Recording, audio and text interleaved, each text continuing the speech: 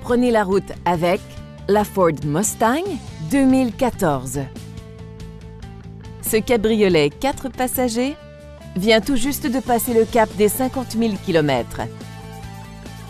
Lors de sa conception, Ford a mis sa tenue de route et son caractère sportif au centre de ses priorités.